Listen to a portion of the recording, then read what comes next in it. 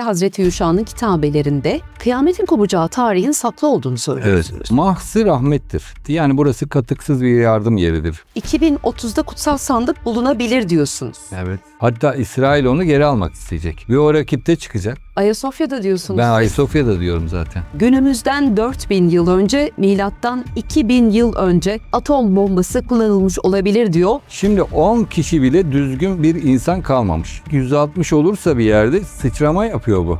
Şu an seviyemiz kaç hocam? Dünyanın mesela daha önce de olduğu gibi yine takla atacağını söylüyorsunuz. 2100 yılında. şu anda biz balık çağının sonundayız. Yani Kovaya gidiyoruz. kovaya gideceğiz. Bir derece kaldı. Yani 72 sene kaldı. Peki ne olur bu takla olduğunda dünyaya? Mesela televizyonu antene bağlamadan açın. O karıncalanma işte kainatın başlangıcından gelen sinyaldir. Nasıl Biliyorum. evrenin oluştuğunun sesini hala televizyonlardaki cızırtıyla duyabiliyoruz. Efendim elimde muazzam bir kitap var. Yazarı Serhat Ahmet Tan şu an stüdyomuzda. King of the World Solomon.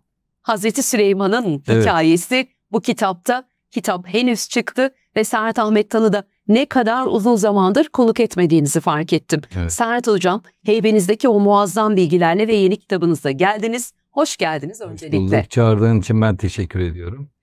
Bugün iki bölümlük, Evet. yani böyle biraz efsane diye niteleyebileceğim Evet. bir söyleşiyle izleyiciye ulaşacağız. İnşallah. İki bölüm çünkü bu kitaptaki o bilgileri tek bölüme sığdırabilmemiz mümkün değil. Ama izninizle ben birkaç bilgi vereyim yayınla ilgili. Kitapla ilgili de sizden şöyle kısacık bir iki cümle neden bu kitabı yazdığınızla ilgili bilgi almak isterim. Şimdi kitap şöyle başlıyor. Süleyman büyücü mü, kral mı, peygamber mi? Hazreti Süleyman'la ilgili bazı söylenenleri yerle eksan ediyor. Kitap ve peygamber oluşuna vurgu yapıyor. Bir, dünyadaki evrensel sırları bilen kişilerden biri miydi Hazreti Süleyman? Işık hızı diyoruz, ışınlanma diyoruz. Işık hızından da daha hızlı olan bir şeyi Evet. aşan kişi. Sizi biraz merak ettirdiğimi düşünüyorum. Yol arkadaşları o üç harfliler cinler miydi? Yoksa bambaşka Başka bir durum mu söz konusu? Yine kitaptan yola çıkarak anlatacağız sizlere. Neden bu kitabı yazma gereği hissettiniz? Şimdi ben ardılık kanunu diye bir şeyde bütün bu bilgilerimizi yıllardır biriktirdiğimiz benim anlattığım, diğer arkadaşlarımızın anlattığı bütün bu bilgileri acaba en temelde ne ile bütünleştirip anlayabilirim diye uğraşıyorum. Birinci bulduğum şey babasız doğum. Bu Mısır'dan artık şeye kadar gidiyor yani galaksiye kadar. Ama onun da altında daha temel bir konu var. Bu da ardılık kanunu. Ne demek bu? Bu ardılık kanunu şu. Çok basit anlatayım. Mesela bir kral var. Kralın iki tane çocuğu var. Birisi büyük, birisi küçük çocuk. Büyük çocuk başa geçmesi gerekiyor kral ölünce. Ama küçük çocuk diyor ki hayır, hak benim. Mahkemeye çıkıyorlar. Neden diyorlar sen nasıl böyle bir şey iddia ediyorsun? O diyor ki benim annem kralla daha yakın soy bayanla sahip. Bu yüzden ben genetik olarak krala daha yakınım. O yüzden benim başa geçmem lazım. Şimdi bu mesele bize dünyanın içerisine gelmiş. Ben dünyanın içerisindeki bunun bütün görüntülerini e, mesela Habil Kabil meselesinden başlıyor dünyanın içindeki olay. Ondan sonra Ve Hazreti bir soy İbrahim- meselesi var. soy meselesi var ve bu bizim bugünümüzü şekillendiren bir şey. Kesinlikle. Bugün bu kötülükler kimlerden çıkıyor? Yahu bu kadar da kötülük yapılır mı dediğiniz şey ta Habil'le Kabil'e kadar gidiyor. Peygamberlerin soylarına bakacağız bu programda. Hazreti Süleyman'ın bir takım e, hikmetli durumlarını anlayabilmek için öncesinde ben de kitap gibi en başından başlayarak sormaya gayret edeceğim. İlk sorum şu. Evren nasıl yaratıldı? Şimdi evren modelleri var. Oradan başlayalım. Tamam. Mesela bilim adamları şöyle diyorlar. Bir doğru mudur evren? Yani geometrik model şeklinde anlamaya çalışmışlar evrenin yapısını. Doğru dediğimiz başı da belli değil, sonu da belli değil. Yani sonsuz bir doğru. Hı hı. Şimdi bu olabilir mi, olamaz mı? Bunun üzerinde tartışılıyor. Büyük patlama olduğu anlaşılınca bunun olamayacağı anlaşıldı. Yani bir yerden başlıyor. Şimdi bir yerden başlayınca dediler ki sonu sonsuz olabilir. Buna da yarı doğru diyoruz. Bu belki de olabilir. Bu İslamiyet'e de bir açıdan uygun gibi görünüyor. Ama bu bizim anladığımız ölçüde, İslami ölçüde ahiret kainatı böyle. Yani başı var, sonu yok. Böyle bir modeli var. Ahiretin sonu yok. Ahiretin sonu yok. Şu anki açık kainat evrenin Deniyor buna. bir sonu var mı? İşte onu tartışıyoruz. Şimdi doğru parçası olabilir mi? Yani başı var, sonu var şeklinde olabilir mi? Şimdi bunu e, dini kitaplar yani üç büyük din bu şekilde olduğunu düşünüyor. Zaten büyük patlamayı da e, bu şekilde bir rahip vasıtasıyla yani bunu iddia ettiği için bu kainatın başı olması gerekir dediği için bilim adamlarını topladı ve araştırdılar ve büyük patlama teorisi buradan çıkmıştı. Şimdi bu sonu olabilir mi olamaz mı? Din bunu sonlu diyor. Yani başı da var, sonu da var. Şimdi ama bilim adamları şu anda karanlık madde diye bir maddeyi çünkü galaksilerin e, mesela bizim galaksimiz bize benzer kollu galaksilerin uç kolları çok hızlı dönüyor. Şimdi galaksinin içindeki maddeyi ölçüyorlar. İşte bunu gezegenleri falan da katıyorlar. Bu kadar bir kuvvet yok. Yani böyle bir kütle yok. Galaksinin toplam kütlesi bu kadar hızlı sağlayacak derecede değil. Peki diyorlar bu nedir? Burada bir karanlık madde olması lazım. Yani dark madde. Görünmüyor, şeffaf. Şimdi bu eğer dark madde yeterince varsa bütün evrende evreni kapatacak evet başı var sonu var şeklinde olabilir diyorlar. Ama şu anda onu tespit edemediler. Orası belli değil. Bir beşinciye geliyoruz. Beşincide de şöyle bir tasarım var. Bir şey gibi çember gibi bir yerden başlıyor, açılıyor, kapanıyor. Ondan sonra tekrar açılıyor, tekrar kapanıyor. Tekrar bu sonsuz diyorlar. Şimdi baştaki sonsuzu olmayınca yeni bir sonsuz icat ettiler ama bunu da Hawking e, radyasyonu buldu. Kara delik radyasyonunu buldu. Yani kara delikler maddeyi alırken bir miktarda dışarıya veriyorlar. Şimdi şöyle dedi Hawking. Eğer dedi bu kainatın ana kara deliği kainatı kapatırken yine bir miktar madde dışarıda bırakacak.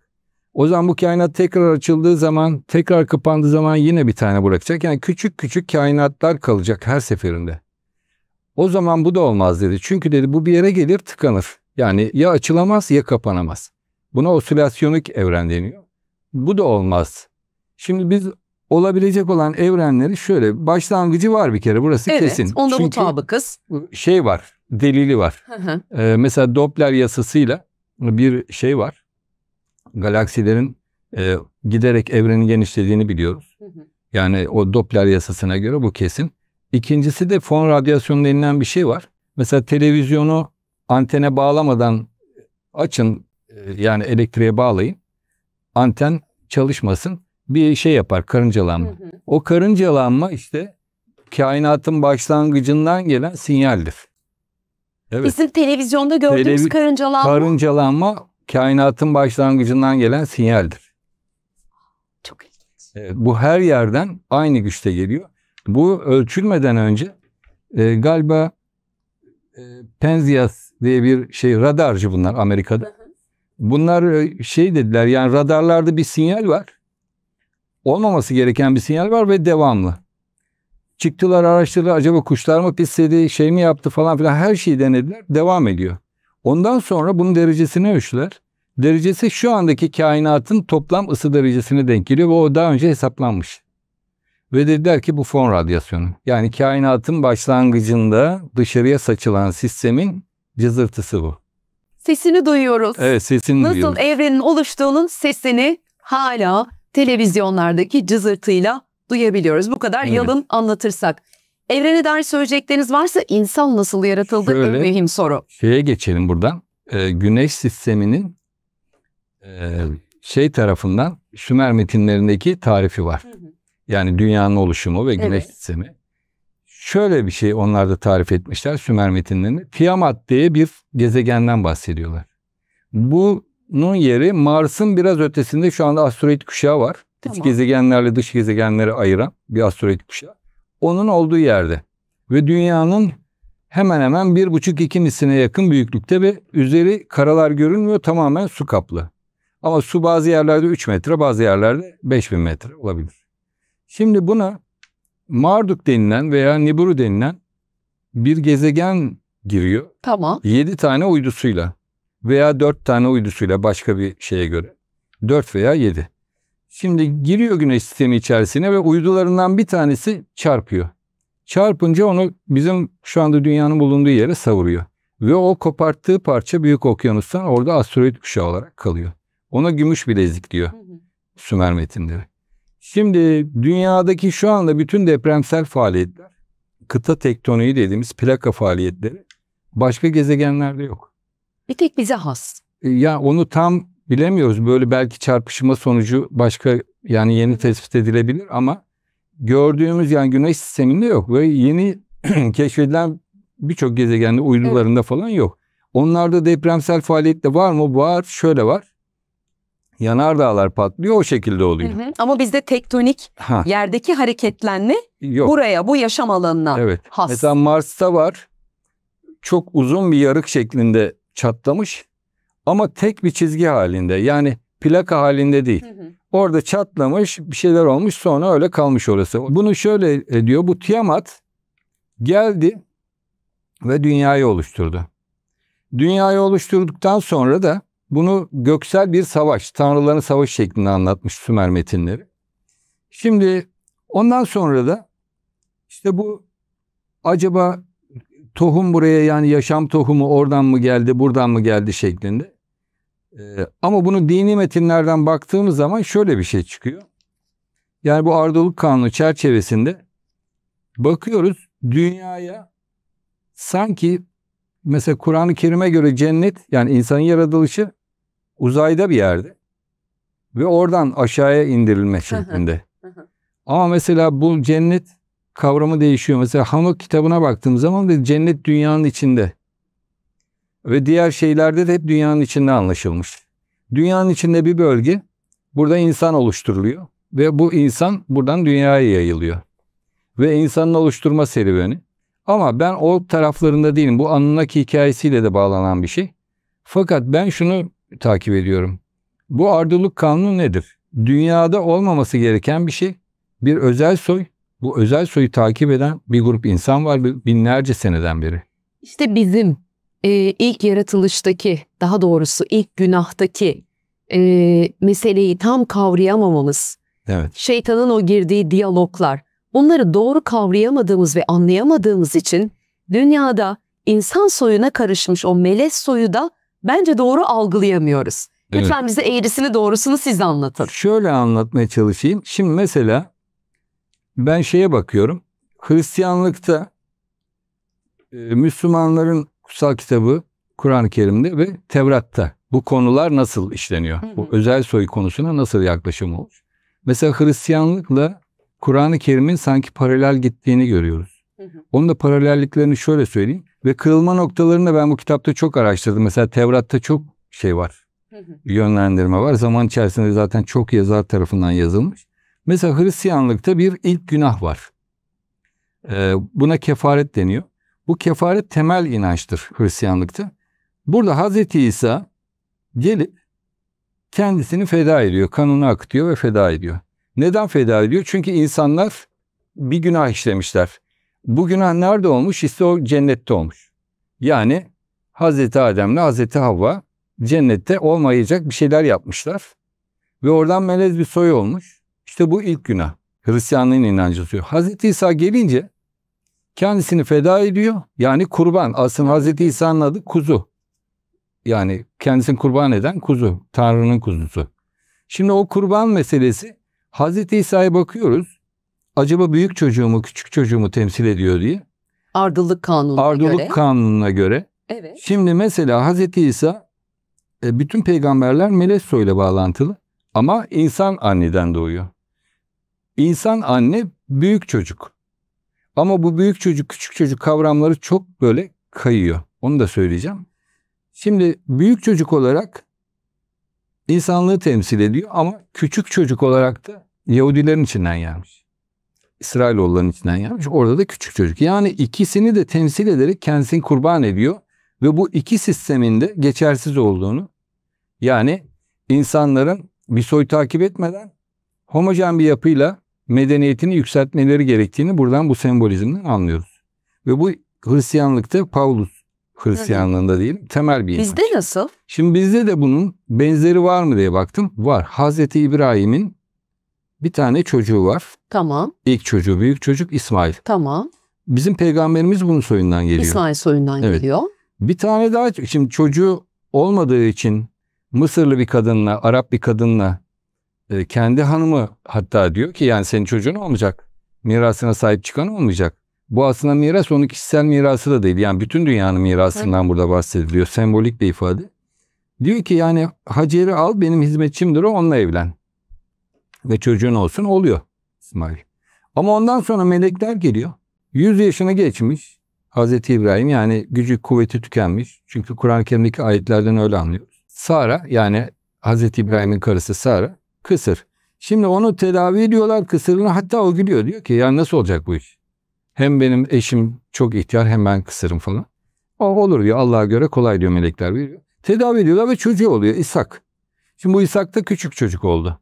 Bak burada da mesela Hazreti İbrahim'in bir büyük çocuğu İsmail, diğeri küçük çocuk, ikinci çocuk İshak. Şimdi bunları kurban ediyor. Müslümanlara göre İsmail kurban ediliyor. Yahudilere göre İshak kurban ediliyor.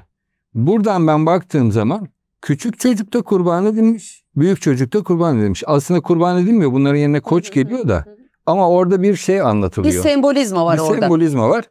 Şimdi bu Hazreti İsa ikisini birleştirmişti. Müslümanlıkta da Hazreti İbrahim'in iki çocuğu hangisinin kurban edildiği belli olmayacak şekilde hem Kur'an-ı Kerim düzenlemiş hem de iddialar herkes kendi tarafını iddia ediyor ve ikisi de kurban ediliyor. Bu şu demektir büyük çocuk da yok küçük çocuk da yok. Yani ortak bir medeniyet oluşturun. Dünya insanlığı meleziyle ve aslıyla devam etsin. Galaktik bir medeniyet seviyesine. Peki Tevrat'ta nasıl? Tevrat'ın aslı aslında bu anlattığım gibi. Ama araya girip kırılmalar çok olmuş ve Tevrat'a devamlı müdahale olmuş. Müdahale Tevrat'ta benim sürdüğüm izler hep küçük çocuğun öncelenmesi üzerine olan konular. Soru şu. Bütün peygamberler aynı soydan mı Aynı geliyor? soydan. Böyle baktığımızda. Aynı soydan geliyor. Aynı soydan geliyorlar. Peki Habil'le Kabil bölümünü mutlaka okumanızı rica ediyorum. Çünkü bugünkü tüm düşmanlıkların kaynağı o ilk cinayet diyor kitabında Serhat Ahmet Tan. Tamam dünya yaratıldı, kainat yaratıldı, evren yaratıldı, insan yaratıldı. Şunu çok merak ediyorum. Neden helaklar geldi? En belirgin, en bildiğimiz Nuh tufanı. Neden yaşandı? Ve Nuh tufanı global bir afet miydi? Yerel bir mesele miydi? Ben hala bu kadar program yapıyorum. Bunun yanıtını tam alamadım. Ee, sizin de kitapta bahsettiğiniz gibi bir beyefendi teknoloji vardı, cep telefonu kullanılmış olabilir Evet. dediğinde aslında biraz dalga Bizim geçirmişti. söyledi. Evet, Yavuz Örnek Hoca. Yavuz Örnek Hoca. Adını da zikredelim. Ee, ama Serhat Ahmet Tan da benzer şeyler Daha söylüyor. ilerisini söylüyorum. ben. Söyleyin o zaman. Şöyle Nuh söyleyeyim. tufanı neydi? Şimdi bu helaklarda iki türlü şey var. Bir Nuh tufanını ayıralım. onu. Tamam. Diğer helaklarda şöyle bir şey var. Mesela e, Lüt kavmi de helak ediliyor. Şimdi belirli bir seviyeye geldikten sonra yani istatistik değer olarak bunu %60 veriyorlar. Toplumda mesela maymunlar e, alıyor bir taşı bir cevizi kırmayı öğreniyor. Diğerleri onu izliyor. Onlar da deniyorlar, onlar da öğreniyorlar. Bu bu popülasyonda %60'ı geçtiği zaman şöyle bir şey oluyor. 300 kilometre, 500 kilometre, 1000 kilometre ötedeki bütün maymunlar hiç birbirlerine haberleri yok. Onlar da cevizleri kırmaya başlıyorlar. Mesela bunu martılarda da yaptılar İngiltere'de. Deneyini yaptılar. Martılarda da aynı şekilde. Hatta nesiller geçtikten sonra 2. Dünya Savaşı oluyor. Onlar da süt şişelerinin kapaklarını delip sütleri içmeyi öğreniyorlar. Hepsi de bütün Avrupa'ya yayılıyor. Aynı anda yani %60'a gelince bir popülasyonla. Şimdi bu şu demektir. Yani diğer helaklar böyle. Mesela bir toplumda belirli bir şey orada Lüt kavminde şey var. Yani Es- azgınlık yükseldiği Azgınlık zaman yükseldiği zaman. geliyor. yükseldiği zaman bu bütün dünyayı sarma ihtimali olduğu için Hı hı, çünkü bu böyle bir şey var sistem var. hı. O sarmadan önce helak geliyor. Şimdi onu da ben anlattım mesela Lut kavminin şeyini. 4000 yıl önce, günümüzden 4000 yıl önce, milattan 2000 yıl önce atom bombası kullanılmış olabilir diyor Evet. Lüt kavmine gelen helakta. Nuh daha global ama Lut anladığım kadarıyla yerel bir Evet o yerel. helak. Yerel ama işte bu söylediğim sebeple o da e, global olabilir. Yani oradaki toplum anlatılana göre mesela Tevrat'tan onu anlamaya çalıştım ben. Melekler geliyorlar. Hazreti İbrahim onlarla mücadeleye giriyor. Yani yapmayın etmeyin. Mesela diyor ki 50 kişi bulsanız diyor yine de yapacak mısınız diyor. Hadi diyor 50 kişi bulursam diyor yapmayacağım diyor. Yani tartışmaya giriyor meleklerle. Duruyor duruyor işte diyor ki 45 kişi olursa diyor peki 5 kişi içinde bütün toplumu helak mı edeceksiniz diyor. Ya diyor 45 kişi olsun diyor. Böyle böyle pazarlıkla 10 kişiye kadar düşürüyor. Şimdi 10 kişi bile düzgün bir insan kalmamış. Koskoca toplumda. Şimdi bu ne demek? %99 onda 9 olmuş. O popülasyonda olmuş ama işte ne dedik %60 olursa bir yerde sıçrama yapıyor bu. Yani Şu an ondan seviyemiz kaç hocama Serhat vallahi hocam? bilmiyorum şu anlık seviyeyi. %60'a yaklaştık mı bilmiyorum. Yani bu helaklere baktığınızda şu an içinde bulunduğumuz çağda da sanki bir helak gelmesi yakın gibi Yakın hissediyorum gibi. ben. Ben Azınlık şu anda bakınca. %30 olmuş mudur bilmiyorum. %30 olmuş. Allah bilir. 60'ı geçerse yani toplu helak geliyor. İşte e, mesela burada da şey soruyorlar işte onun küçük çocuğun günahı ne, şunun günahı ne, suçsuzun günahsızın günahı ne falan diye ama o zaman bu suçsuz günahsız dinlemiyor. Bu esmalarla çalışan bir sistem. O yönüne girmeyelim ama toplu bir helak geliyor.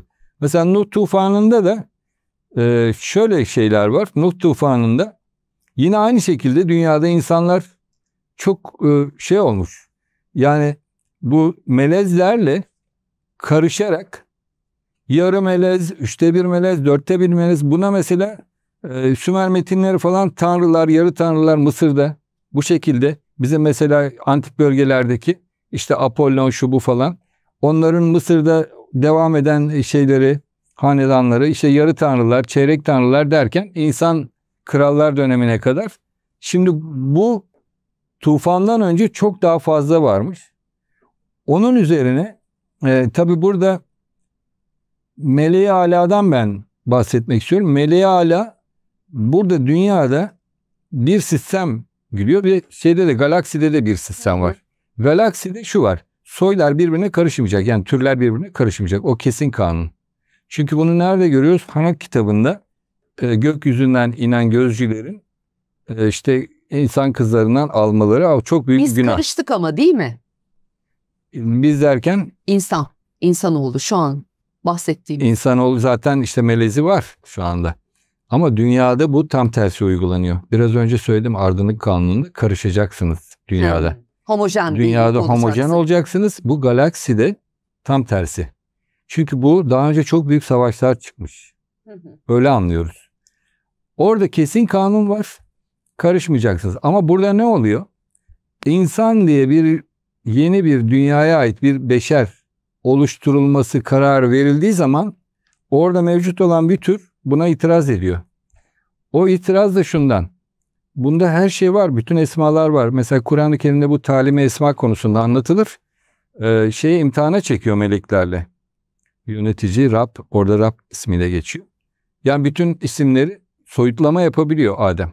Bütün isimleri biliyor. Yani isimleri bilmek şu demek. Soyutlama yapmak sende celali sistem de olması lazım. Zorlayıcı sistemin de olması lazım. Yani aklın şeytanlığa da çalışacak. Her şeye ona göre isim vereceksin. Mesela melekler yapamıyorlar bunu. Meleklerde celali esmalar yok. Ama iblis görüyor. Benimle aynı diyor. Ben buna itiraz ediyorum. Ne gerek var yeni bir türe? İşte orada iblis büyük kardeş. Ama insan gelince galakside küçük kardeş oluyor. Ardıllık kanunu Oradan küçükten- oradan başlıyor. Ha. Şimdi küçük kardeşi tercih ediyor Rab ve iblisi kovuyor.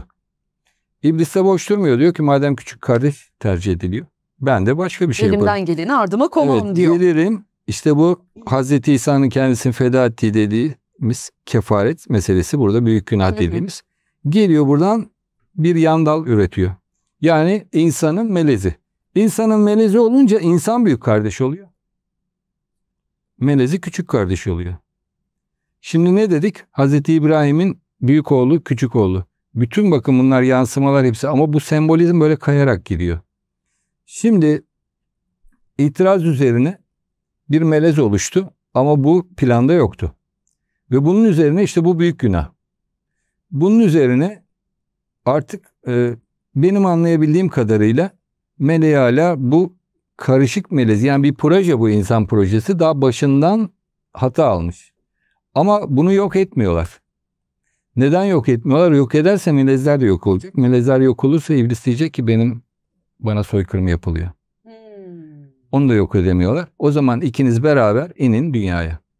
Zaten dünya için tasarlanmış ama meleziyle iniyor. Şimdi meleziyle indikten sonra buradaki maceralar başlıyor. Buradaki maceralarda da dedik işte Habil Kabil'le başladı. Ondan sonra Hazreti İbrahim'le başladı. Hazreti İbrahim'in devamında İshak. İshak geldi. İshak'ın mesela iki tane oğlu var. Hı hı. Esav ve Yakup. Bir... Geleceğiz oralara. Heh. Geleceğiz hocam. Şimdi bir şeyden uzaklaşmayalım. Dedik ki Nuh tufanı. Evet. Global bir afet. E, teknoloji vardı ve kullanıldı diyorsunuz. Evet, ileri teknoloji çok ima eden yerler var. Hı hı. Mesela? Ondan sonra mesela ne var? E, Faret Tennur geçiyor. Bu galiba Hud suresinde olabilir. Faret Tennur diye bileşik bir kelime. Tamam. Bu geminin harekete geçmesini anlatan bir şey. Ve şeyde de mesela Kamer suresinde olması gerekir. Elvahım ve düsur. Mesela buralardan çıkardı. Elvah, elvahım ve düsur. Elvah levhalar demek.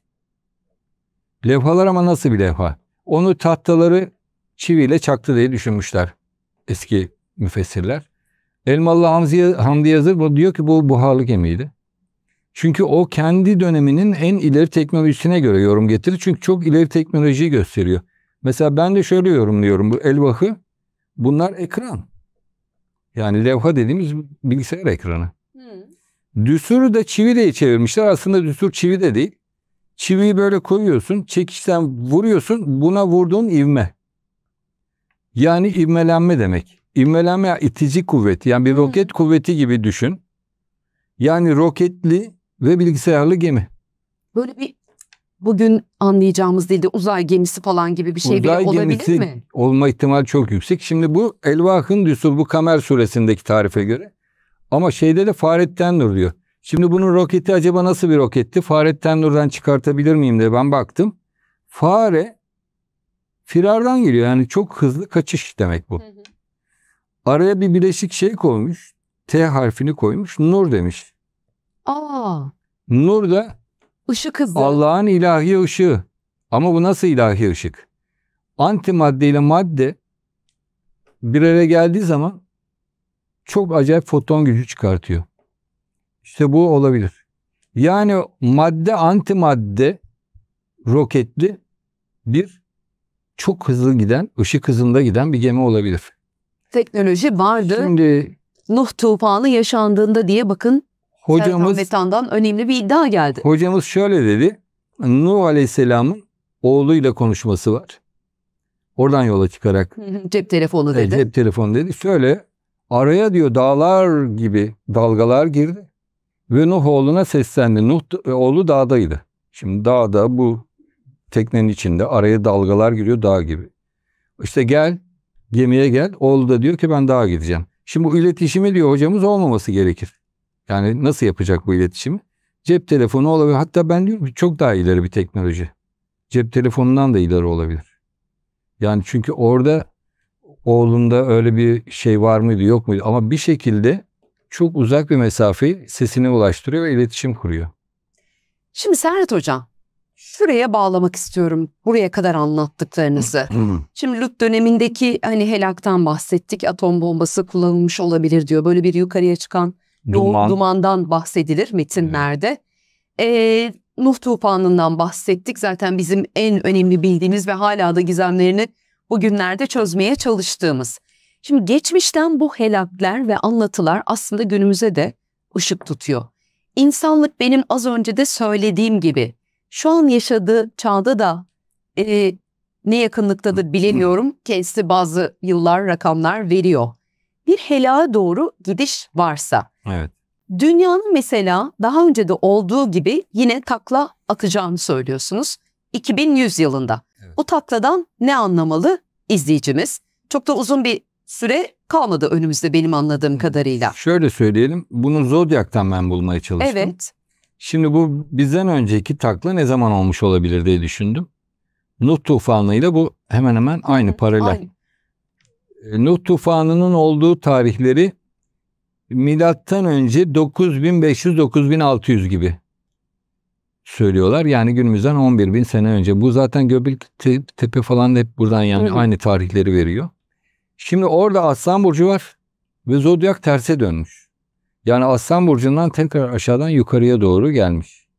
6 tane presesyon gelmiş. Şu anda biz balık çağının sonundayız. Yani Kovaya gidiyoruz. Kovaya gideceğiz. Bir derece kaldı. Yani 72 sene kaldı. 2028 yılından sonra 72 sene kaldı. Şimdi oraya değdiği anda yani 2028'den sonraki 72 sene içerisinde bir takla olma ihtimali çok kuvvetli. Ve bunun da işaretlerini görüyoruz. Manyetik kutup kaymaları var. Hı hı. Manyetik kutup kaymaları da e, şöyle diyelim mesela e, enlemleri biz ölçerken ekvatordan itibaren ölçünce yukarıya doğru 90 derece. Mesela 85. dereceye gelince yukarıdan aşağıya doğru da 5 derece diyelim veya 85 aşağıdan yukarıya doğru 85 derece. Şimdi bu 5 derecenin dışına çıktığı zaman bu manyetik alan bu takla oluşuyor.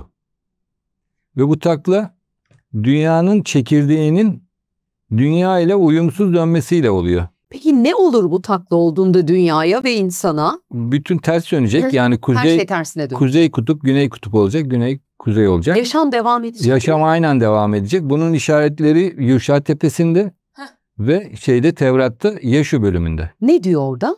Tevrat'ta Yeşu bölümünde çok açık. Bak bu Tevrat'taki bu bölüm bütün Hristiyanlar binlerce senedir tartışılan bir bölümdür. Orada şöyle diyor. Bir savaş sırasında bunu Yuşa Tepesi'nde de anlatıyor. Bir savaş sırasında akşam oluyordu. Savaş bitmedi.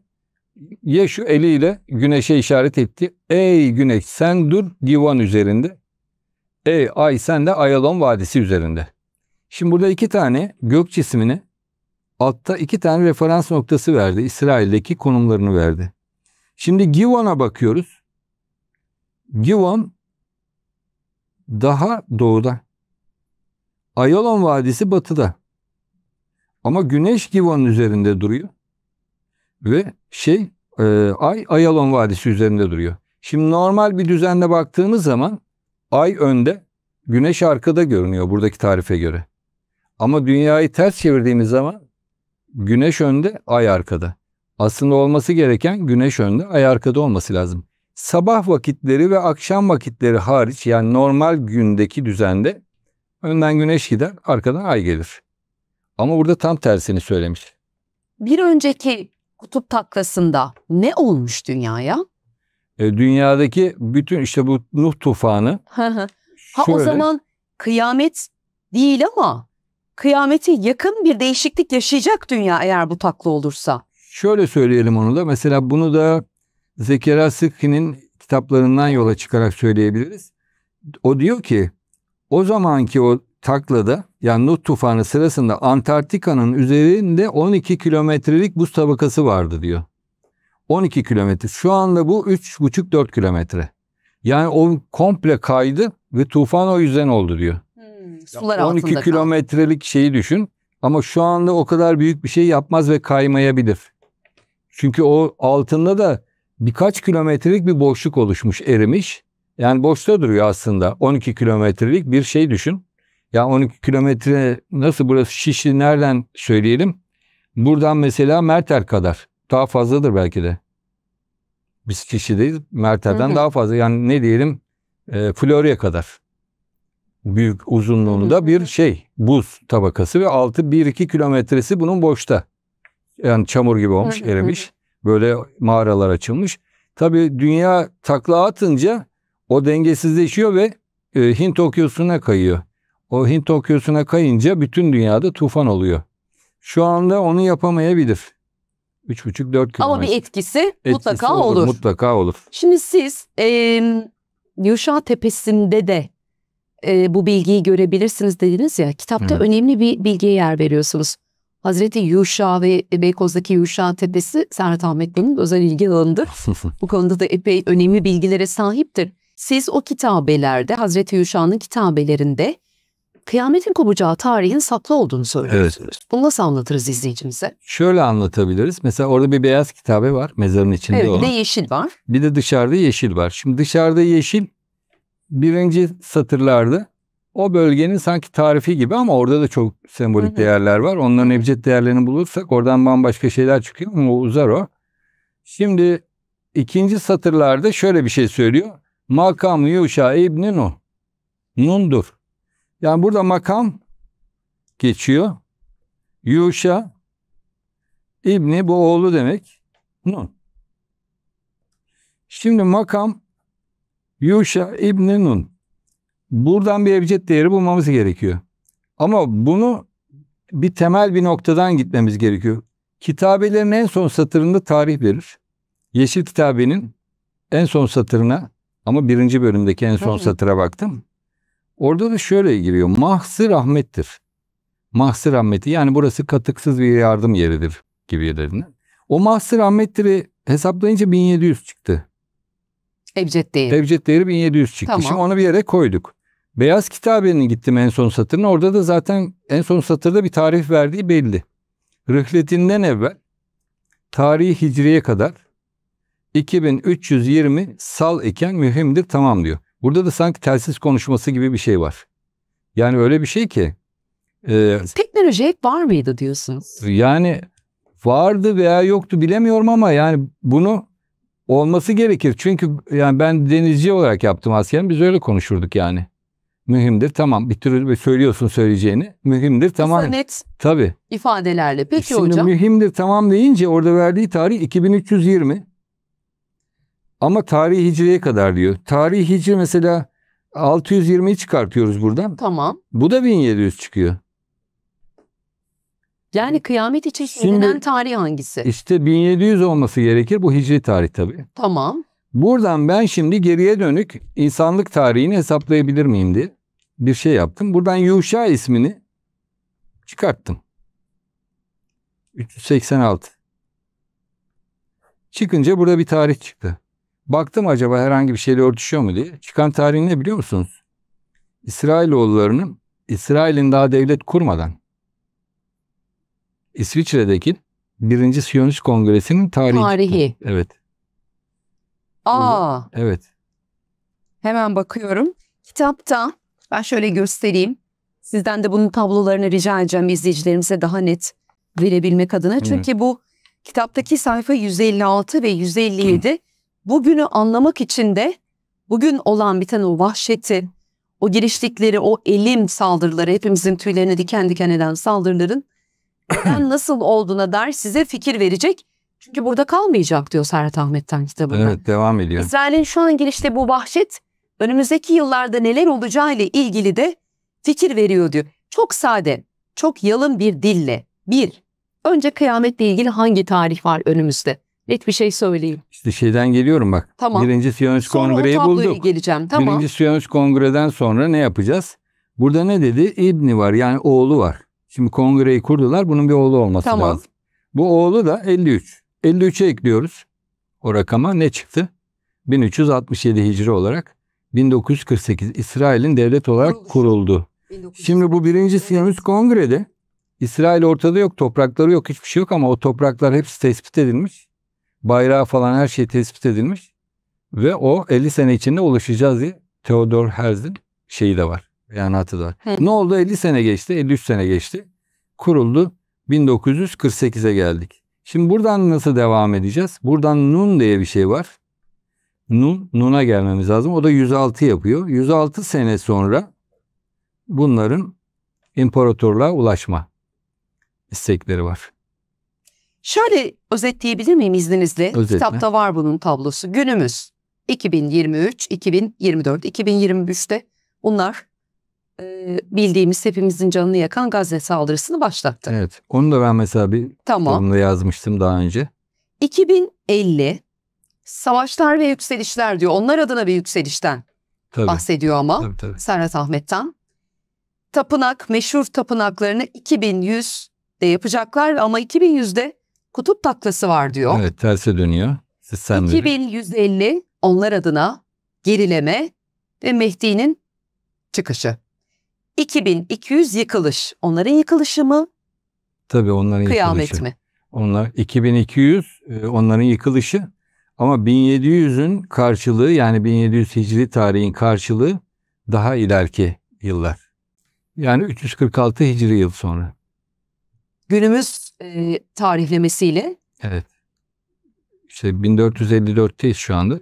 Şey 346 ne kadar fark eder?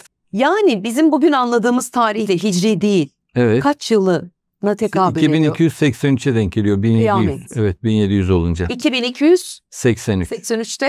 olabilir. Evet. Yani bu kıyamet tabii kıyamet sürecinin de başlangıcı. Burada İslam literatüründe şöyle anlatıyorlar. Ondan sonra insanlık tamamen bozuluyor ve orada bir bozuk bir 120 sene daha olduğu düşünülüyor. Ama o 120 sene kara deliğe yakalandıktan sonra mıdır? Kara deliğin olay ufkunun içindeki yıllar mıdır? Orası belli değil. Ama burada artık insanlığın tamamen zıvanadan çıktığı kıyamete layık olduğu bir dönem. Biz şu anda İslami literatüre göre Deccali dediğiniz döneme girmiş bulunuyoruz. Tabii bulunuyoruz tabii. İsrail'in şu anki vahşeti de bunun bir işareti mi? Burada durmayacaklar Daha da diyor. fazla olacak. Peki eee, İsrail'in yıkılma sürecine kadar epey bir vakit var. 2100 ve sonrasını gösteriyor galiba. 2100'den sonra Son. 72 sene daha gidiyor. 2172 sene o yıkılış süreci ama 72 Ve sene. son kıyametin kopmasından e, 40-50 yıllık bir zaman diliminde de dünya hiç adil olmadığı kadar Evet. bir böyle güller dönemi mi derler o dönemi bilmiyorum. Mehdi İyilik dönemi, dönemi, mi derler? İşte Mehdi dönemi deniyor. Yani Öyle bir adil dönem yaşayacak onu dünya. Devir zaten. Hmm. Yani şey kurmuyor Mehdi. Ee, devralıyor. Hazır bir sistem var. Onu dönüştürüyor, devralıyor. Bunu nasıl devralıyor? İşte bu İsrail'in yaptığı olaylar birikip birikip birikip bütün dünya ülkeleri bunun farkına varınca bütün aleyhine dönüyor sistem. Aleyhine dönünce e, adi- adil bir sistem olarak 40 sene artı 40 sene olduğu söyleniyor. Onu da Hristiyanlarla birlikte yorumlamışlar. E, Bizim İslam literatürde öyle. 40 senesi Mehdi'nin yaptığı çalışmalar. Bunun ortak 7 senesi var. Hazreti İsa devreye giriyor. O da 40 sene devam ettiriyor. Yani toplam 80 senelik bir dönem. Aslında bunu imtina ederek soruyorum ama izleyicilerimizi de üzmek, darlamak istemesem de bugün bizim bize gösterilen vahşet bir anlamda şuna da ayna tutuyor. Dünya bundan sonra daha baş aşağı bir gidişte mi olacak? Baş aşağı derken Daha olumsuz, daha negatif. e, tabii şimdi önümüzdeki yani 2100'e kadar tabii bu olumsuz bakış açısına göre yani bizi bizim için olumsuz. Bir taraftan da bir kutsal sandık arayışı var.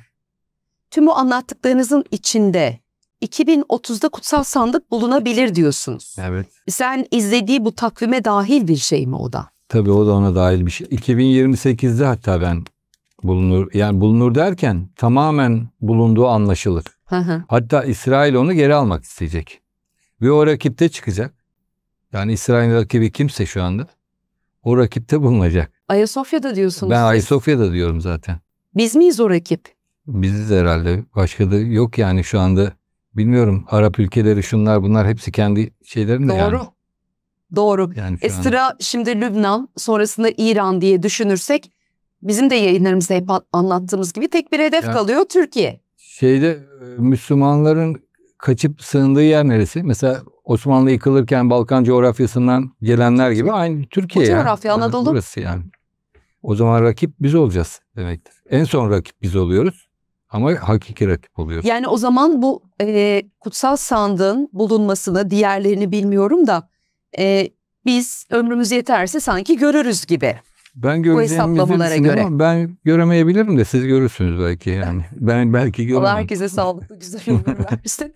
Bir de e, tamamlamadan bu bölümü ikinci bölümde bütünlüğüyle Hazreti Süleyman'ın hikayesini konuşacağız da bunları onu konuşabilmek için sizlere aktarmamız gerekiyordu. Mısır'ı fethederek halifeliği İstanbul'a getiren Yavuz Sultan Selim'in getirdiği kutsal emanetler arasında bir kılıç var. Siz Evet. o kılıçta da bazı mesajlar yüklü Var, olduğunu onda da var. söylüyorsunuz. Aynı ebced değerleri hemen hemen onda da çıkıyor. Ben onunla ilgili Neyi de anlatıyor? e, orada şeyi anlatıyor. Bir e, ne diyelim kitabesi var onun. Yani kılıç ayrı, kılıcın kitabesi ayrı. Ama Yavuz Sultan Selim ikisini beraber getirmiş. Fakat kılıç çok daha eski. Tabi Mısır'ı fethedince Hazreti Ömer zamanında oluyor bu. O kılıcı buluyor Müslümanlar. O kılıcı bir kitabe yazmışlar Arapça. O kitabede Osmanlı'nın kurulacağı var, Yavuz Sultan Selim'in getireceği var, Osmanlı'dan sonra ne kurulacak, ondan sonra neler olacak, nasıl mücadeleler Mehdi zamanına kadar neler olacak. Böyle kitabede yazı şeklinde var onlar. Bu Topkapı Sarayı'nda gitsinler baksınlar. Herkes gidip görebilir. Herkes gidip görebilir. Ayrıca kılıcın üzerinde bir kesik baş bir de şey var. Kitabede de bir gemi resmi var. O gemi resmindeki e, ebced değerlerini bularak bunu Serkan Tekin de yapmıştı vakti zamanında. Ben de yaptım. Hı hı. Oradan da bu benim bulduğum tarihler çıkıyor hep. Yani İsrail'in e, şey tarihleri, Yuşa Tepesi'nde çıkan tarihler. İsrail'in safhaları hep. Yükselişi. 340 sene, 340 sene, 350 senelik bir dönem. Ama şeyden itibaren, birinci kongreden itibaren. Onun safhaları çıkıyor. Şu an Gazze'de Serhat Hocam'ın kitabında da bahsettiği gibi büyük katliamlar oluyor. İnsanlık seyrediyor. Acımasızca saldırıyorlar. Bakın onların e, bu saldırılarını anlayabilmek için Serhat Bey'in az önce anlattıkları o kadar önemli. Çünkü bir takvimi takip ediyorlar. Evet. E, zaten böyle bizim aklımızın almadığı, onların sapkınca inandığı bazı ülkeleri, idealleri uğruna da bu acımasızlığı sergiliyorlar. Bakalım ömrünüz yeterse evet. yettiği yere kadar neleri göreceğiz? Ama hayırlısını görebilmeyi dileriz, umut ederiz. Şimdi geldik. Bu inancın kaynağını biraz önce anlattığım ardılık kanununu Tevrat'tan incelediğim zaman küçük çocuğun öncelenmesi bütün peygamberlerin anlatımlarında zaman içerisinde hepsinde var. Ve Kur'an-ı Kerim'de söylediğim gibi Hristiyanlık bunun tam tersinde homojenize bir insanlık istiyor. Ee, burada Ama onların mesela, kendilerini üstün görmeleri de bir şey işaret etmiyor işte mu? İşte o üstün görme oradan çıkıyor. Yani Tevrat'ı okursanız hayret edersiniz. Mesela biz Yakup Aleyhisselam'ı peygamber olarak görüyoruz. Mesela bir peygamber yalan söyler mi? Yalan söylerse onun getirdiği dine kim inanır? Peygamberler yalan söylemez. Söyleyemez zaten. Söylemez. Bir, bir tane yalanı olsa o inancı yani inandırıcılığı kalmaz. Ama şimdi Tevrat'ta öyle bir şeyler anlatılıyor ki abisinden e, büyük çocukluk hakkını alabilmek için annesiyle beraber babasına tuzak kuruyorlar. Ve kaç tane yalan üstüne yalan, yalan üstüne yalan. Dönüştürüldüğü için mi böyle aklımızın almayacağı işte o küçük çocuğu, var. küçük çocuğun yönetici olacağını anlatabilmek için Tevrat yazarları oralara girip o tarihi konuların üzerine hep bir dokunuşlar yapmışlar. Müdahale etmişler. Hmm. İç içe geçmiş konular. Geldik. Oradaki o inancın gücü bugün İsrail olarak biz görüyoruz karşımıza.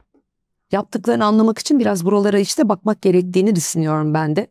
Evet. Anlaşılabilir değil bizim için evet kabullenilebilir değil asla. Demek istediğim o değil ama işte bunlardan yola çıkarak şu an dünyanın gidişatına yön veriyorlar. Hazreti Süleyman bölümünü ikinci bölümde sizlere aktaracağız. Biraz fragman niteliğinde sözler söyleyeyim. Söyleyeyim mi? Söyle. Merak etsinler. Söyle. Hazırlanın dalışa geçiyoruz diyor. Bu bölüme geçerken Serhat Ahmet Tan. Biliyorsunuz lakabı da Zülkarneyn. Peki niye Zülkarneyn? İlmi ledun, sırların sırrı. Bunu e, kim uyguluyor, kim pratik bir gö- güce dönüştürüyor? Hazreti Süleyman. Neden önemli? Aklınıza mukayyet olun diyor Hazreti Süleyman bölümüne geçerken kitapta. Ben de size diyorum ki ikinci bölüme geçerken aklınıza mukayyet olun ve bizimle kalın.